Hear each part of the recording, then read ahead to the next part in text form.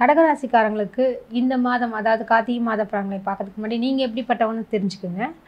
கடகராசிக்காரங்க பார்த்தீங்கனாலே அந்த இடமே வந்து வாட்டர் சைன் இல்லையா? ஸோ வந்து பொதுவாகவே வந்து அவங்களுடைய எண்ணங்களே எப்படி இருக்குன்னா அதாவது கற்பனை திறன் அதிகமாகவே இருந்தால் கூட அவர் ஒரு ஸ்டடியாகவே யோசிப்பாங்க. இது நமக்கு ஆகுமா ஆகாதான்ற ஒரு விஷயம் இருக்கு இல்லையா?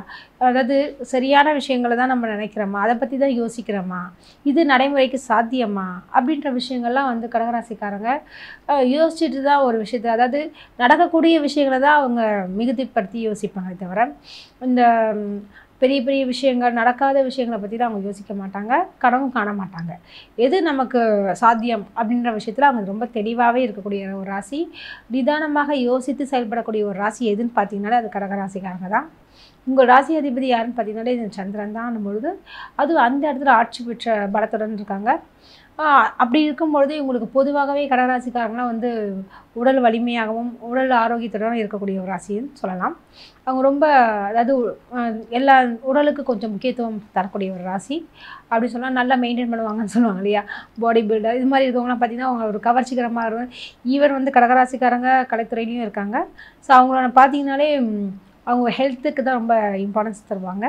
அது மாதிரி ராசின்னு பார்த்தீங்கன்னா அது கடகராசிக்காரங்க தான். ஸோ இந்த மாதத்தில் உங்களுக்கு எப்படி இருக்கும் அப்படின்னு பார்க்குறச்ச உங்கள் ராசி அதிபதி தான் எப்போதுமே சுற்றிக்கிட்டே வந்துட்டு உங்கள் ராசி அதிபதியை வச்சு தான் வந்து நிறைய பேருக்கு சந்தோஷமும் இருக்கா இல்லையான்ற விஷயங்கள்லாம் தெரிஞ்சு கொள்ளக்கூடிய அளவிற்கு இருக்குது ஸோ உங்களுக்கு வந்து இந்த கட்டகச்சனி இப்போ நடந்துட்டுருக்கு. இருந்தாலும் இப்போ மற்ற கிரகங்களுடைய விஷயங்களை வச்சு தான் நம்ம ஒரு பலன் சொல்ல முடியும். அப்படி பார்க்குறச்ச உங்கள் ராசிக்கு அதாவது ஐந்தாவது ஸ்தானம் என்று சொல்லக்கூடிய இடத்துல யாருக்கார் பார்த்தீங்கன்னு வச்சுக்கோங்களேன். சூரியன் புதன் மற்றும் சுக்கரன். ஸோ இந்த மூன்று பிளானட்னால உங்களுக்கு என்ன ந- நிகழ்வு நடக்க போகுது அப்படின்னு பார்க்குறச்ச நான்கு குடையவன் மூன்று குடையவன் மற்றும் இரண்டு குடையவன். ஸோ இது இந்த மூணு பிளானட்ஸும் அங்கே இருக்கிறனால உங்களுக்கு வீடு வாகனம் சம்மந்தப்பட்ட விஷயத்தில் ஒரு நல்ல செய்தி வரலாம். அல்லது வீடு வாங்குறதுக்கு ஒரு அட்வான்ஸ் நீங்கள் கொடுக்கலாம். இது மாதிரி பல விஷயங்களை வந்து உங்களுக்கு நடக்கிறதுக்குண்டான வாய்ப்புகள் அதிகமாகவே இருக்குங்க.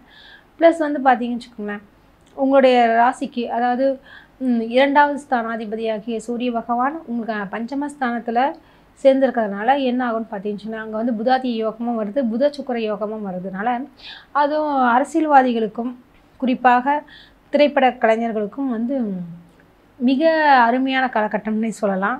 எப்படின்னு பார்த்தீங்கன்னு வச்சுங்களேன் இந்த இடத்துல அதாவது சொல்லுவாங்க இல்லையா நான்கு குடையவன் இரண்டு தனாதிபதி அந்த மூன்று குடையவனாகிய உபஜயஸ்தானாதிபதி மற்றும் நான்கு குடையனாகிய சுக்கர பகவான் இவங்கெல்லாம் ஒன்று சேர்ந்து அங்கே இருக்கும்பொழுது நிச்சயமாக உங்களுக்கு நல்ல பழங்களை தான் த தந்தே தீரணும். அப்படின்னு பார்க்குறச்சு உங்களோட பிள்ளைகளால் லாபம் அப்புறம் வீடு சம்மந்தப்பட்ட விஷயங்களில் லாபம் அதுவும் மார்க்கெட்டிங் லைனில் இருக்கவங்களுக்கு சேல்ஸ் லைனில் இருக்கவங்களுக்கு மற்றும் கலைத்துறையில் இருக்கவங்களுக்கு அரசியல்வாதிகளுக்கும் சரி மிக நல்ல காலகட்டமாக இந்த காலகட்டம் இருக்குங்க. நிறைய பேருடைய படங்கள்லாம் வந்து அது கடகராசிக்காரங்க இந்த காலகட்டத்தில் அதாவது கார்த்திகை மாதத்தில் ரிலீஸ் பண்ணாங்கன்னா மிகவும் நல்லாவே ஓடக்கூடிய ஒரு காலகட்டமாகவும் இருக்குது அடுத்தபடியாக பார்த்தீங்கன்னு வச்சுக்கோங்களேன் உங்களுடைய ஏழாவது ஸ்தானம் என்று சொல்லக்கூடிய கலத்திர ஸ்தானத்தில் சனி பகவான் ஆட்சி பெற்றிருக்காங்க. ஸோ இந்த இரண்டு மாதம் பொதுவாகவே இப்போ ஏழாம் இடத்துல இருக்கக்கூடிய சனி பகவான் ஆட்சி பெற்றது மட்டும் இல்லாமல் உங்களுக்கு வந்து இந்த மாதத்தில் பல விஷயங்கள் நன்மைகள் கிடைக்குங்க. எப்படின்னு பார்த்தீங்கன்னு வச்சுக்கோங்களேன். ஏன்னா பொதுவாகவே அவர் அஷ்டமஸ்தானத்துக்கு போகிறதுக்கு முன்னாடியே இப்போ ஏழில் இருக்கிறது நல்ல விஷயத்தெல்லாம் உங்களுக்கு அள்ளி தரக்கூடிய ஒரு காலகட்டமாக இருக்குது அதுவும் மற்ற கிரகங்களும் இப்போ நான் சொன்னபடி சூரியன் புதன் சுக்கிரனுடைய நிலை மற்றும் நான்கில் வந்து பார்த்திங்கன்னா யாருக்கடா கேது இவங்களாம் இருக்கிறதுனால அவங்களுக்கு உங்களுக்கு நல்ல விஷயங்களை தான் அள்ளித்தரப்போகக்கூடிய காலகட்டமாக இருக்குது இதை அழகாக பயன்படுத்தி கொள்ளுங்கள். இந்த மாதத்தில் நீங்கள் என்ன செய்யணும்? அதை புதுசாக ஒரு காரியம் துவங்கணும். அல்லது வந்து ஒரு நிறுவனம் துவங்கணும்.